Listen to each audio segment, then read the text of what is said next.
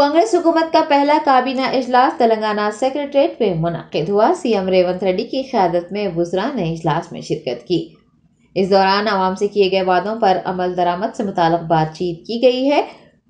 वादों को अमली जामा पहनाने के लिए उठाए जाने वाले इकदाम पर तफसीली तबादला ख्याल हुआ है। बताया गया है कि सौ दिनों के अंदर छह जमानतों पर अमल किया जाएगा। आपको याद दिला दें कि कांग्रेस पार्टी ने इकतदार में आते ही छह गारंटी स्कीमात पर अमल आवारी का वादा किया था। चीफ मिनिस्टर के तौर पर हलफ लेते ही रेवंत रेड्डी ने पहली दस्तखत उसी फ़ाइल पर की है। जराये ने बताया है कि काबीना के अजलास में छह गारंटी स्कीमात पर अमल आवारी और आने वाले दिनों में इख्तियार किए जाने वाली हमत अमलियों व दीगर अहम उमूर पर तबादला ख्याल किया गया और कई अहम फैसले लिए गए।